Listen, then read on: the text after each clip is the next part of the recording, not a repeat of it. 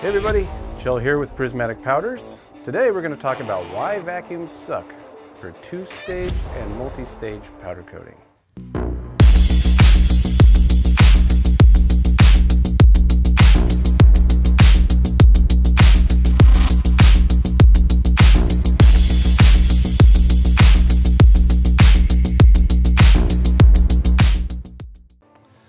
Now wiping, masking, and vacuuming are all viable options for keeping powder off of or out of certain areas when multi-stage powder coating.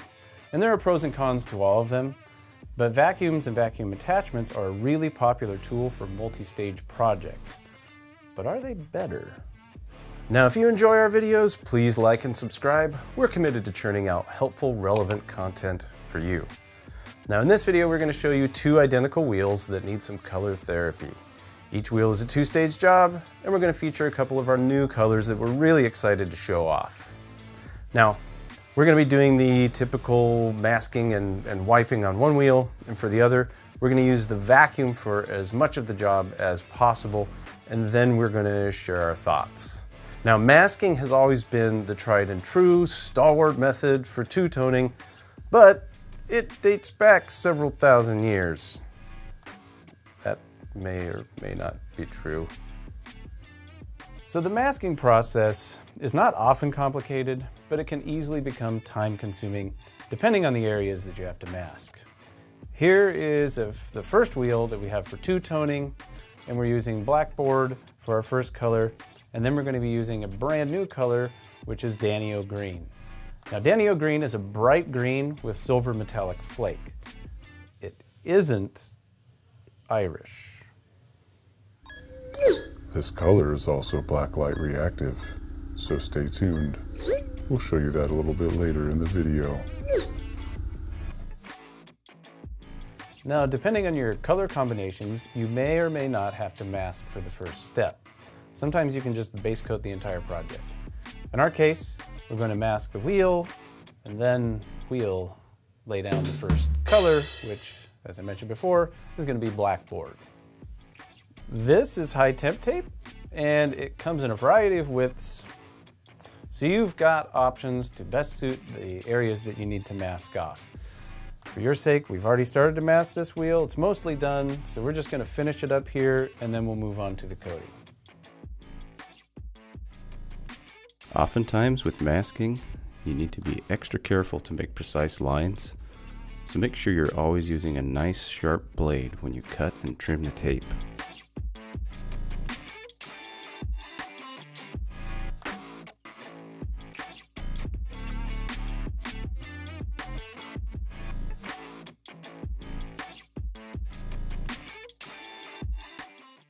After we spray out the blackboard, we're going to flash it, then we'll pull it out let it cool before we apply the Danio green.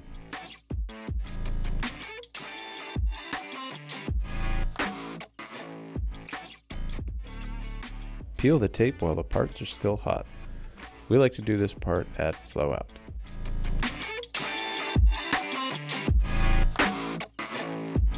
Okay, so we've got our blackboard on, and now it's time to put on our Danio Green, which is gonna go on the face of this wheel here. Uh, Danio Green is a metallic, so we highly recommend the use of a fluidizer. And this is going to keep the metallic from settling to the bottom so that when you spray it, it'll ensure that it goes on in nice uniform distribution.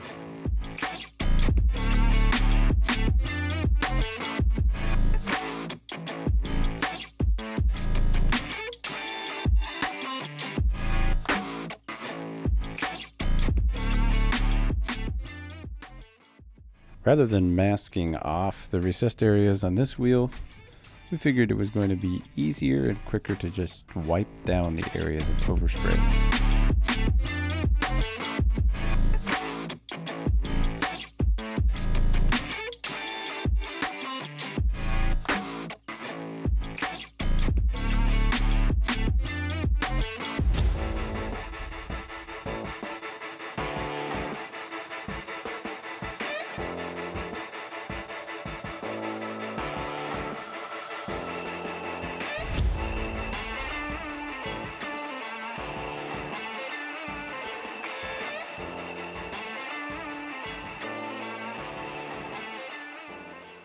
Now let's talk vacuuming. Does it suck?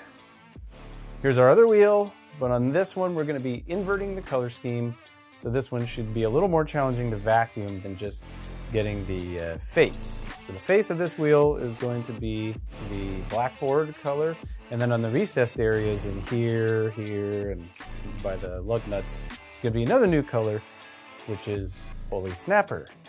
And Holy Snapper is a bright orange with big silver metallic flakes, and it too is black light reactive.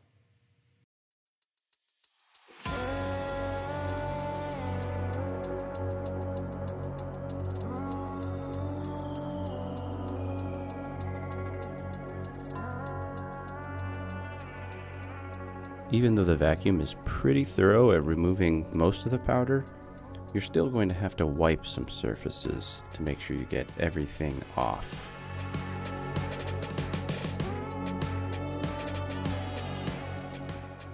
We're going to be pulling the wheel at flow out and then we'll let it cool. After that, we add the Holy Snapper.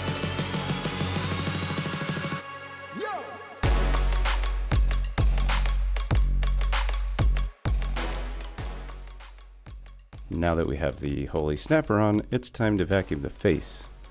Through this process, we had to be careful with the tubing for the attachments. You need to keep track of that tubing so it doesn't rub against your parts.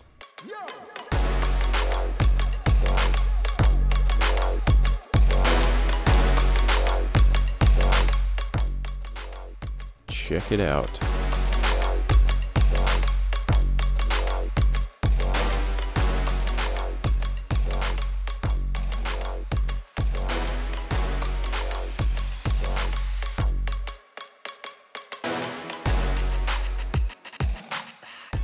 Okay, so the final thoughts on vacuuming. It's a fairly quick process for removing powder. Uh, there are a variety of attachments to assist you, ranging from fine detail work to removing larger swaths of powder at a time. And another benefit of using the vacuum is that it removes powder immediately and gets it out of the way as you go, so you don't have to be as concerned with the powder dropping on the surfaces below like you would if you were wiping the parts. Vacuuming does require a steady hand to keep your lines precise and to make sure you're not removing powder from the surfaces that you want to keep the powder on. So you have to be careful because it can be pretty easy to get outside the lines if you move too quickly. The bottom line is, yes, vacuuming does indeed suck, but in a good way, and we really like the process. It's not a replacement for masking, or wiping, but it is another method that you can use in conjunction with the others that can really make your life a lot easier when you've got a multi-stage job. It's another tool to have in your toolbox. So let's address the elephant in the room concerning vacuums. And that is the risk of explosion. There's been a lot of talk within powder coating circles about this, and the gist of it is that if you don't have an explosion-proof vacuum that is specifically designed for dry powder, that there is a risk of explosion. And this is true. Powder coating, like most fine powders and dusts, carries the risk of explosion if it's ignited. Even powdered non-dairy creamer can ignite and flame up. So it's certainly something to be aware of, and you should have a plan in place for these hazards. Uh, simply put, a vacuum can be an ignition source. So just like many other things in the process, you need to assess your situation and equipment and have a plan in place. And that's going to be a wrap for today's video. So thanks for watching and we'll see you next time.